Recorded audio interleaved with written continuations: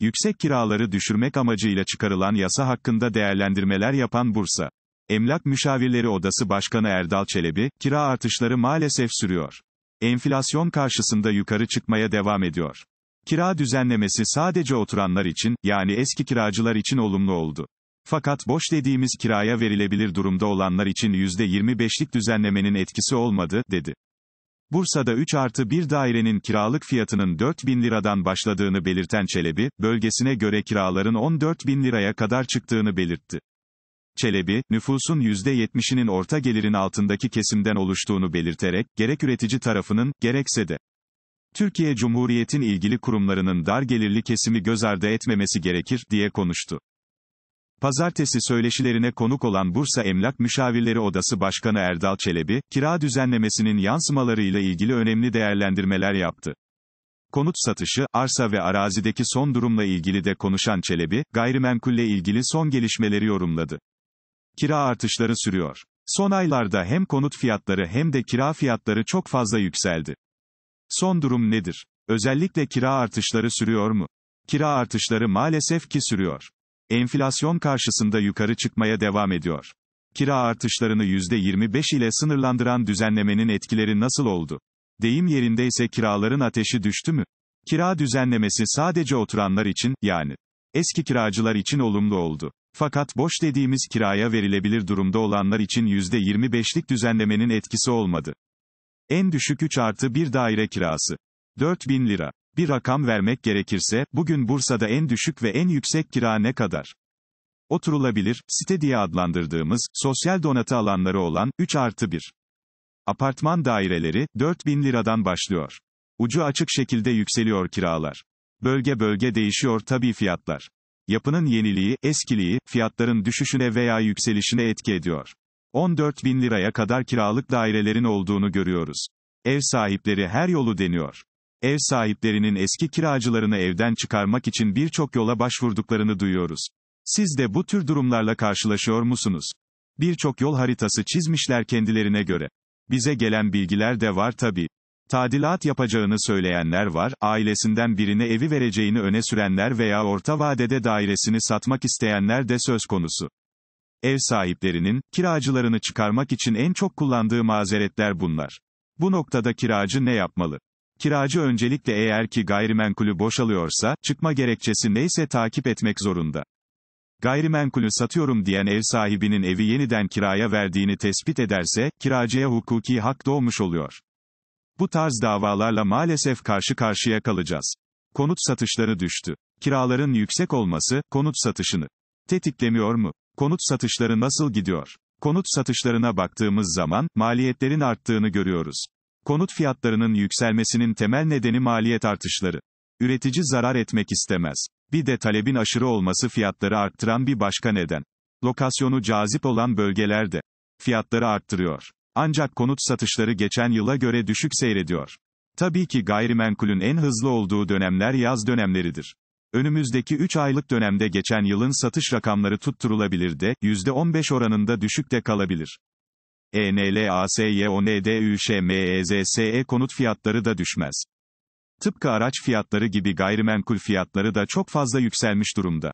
Bu durumun daha ne kadar süreceğini düşünüyorsunuz? Enflasyon oranı, çift hanenin altına inmediği sürece, fiyatların yukarıya hareketi hep sürecektir. Maliyetler oturursa, fiyat yükselişleri hafif yükselebilir veya durağanlaşabilir ama düşmez. Konut stoğumuz ne durumda? Örneğin Bursa'da bir konut açığından söz edebilir miyiz? Soru işareti. Bursa şu anda çok az konut fazlasıyla hareket ediyor. Çünkü gerek göç, gerek doğal nüfus artışı Bursa'da her zaman bir miktar konut stoğu olmasını zorunlu kılıyor. Geçmiş yıllardaki gibi Türkiye'de milyonlarca konut stoğu yok. Bunun da sebebi, artan maliyetler, üreticinin kaygıları ve pazarın durumu. Dar GELİRLİNİN konut ihtiyacı GİDERİLMELİ. Peki konut ihtiyacı hangi kesimde var? Alt gelir düzeyinde var, küçük yatırımcı dediğimiz tüketiciye endeksli bir planlama yapılmadığını ve bu ihtiyacın TOKİ aracılığıyla karşılanmaya çalışıldığını görüyoruz. Unutulmamalı ki nüfusumuzun %70'i orta gelir altında hayatını idame ettiren kesimden oluşuyor. Gerek üretici tarafının, gerekse de Türkiye Cumhuriyet'in ilgili kurumlarının bu kesimi göz ardı etmemesi gerekir.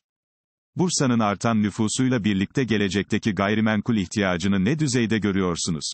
Aslında bu sorunun yanıtını vermiştik.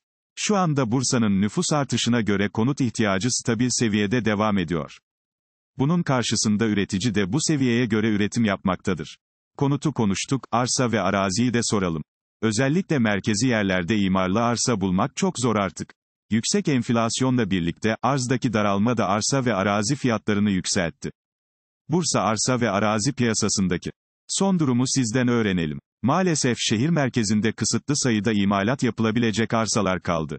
Ancak her zaman sizler aracılığıyla da gündeme getirdiğimiz deprem konusuna bir kez daha değinelim. Ana merkezde ilk yapılması gereken işlerden olan kentsel dönüşüm doğru bir planlamayla yapılırsa, hem kentin sosyal dokusu bozulmayacak hem de şehir merkezindeki arsa sorunu çözülecektir.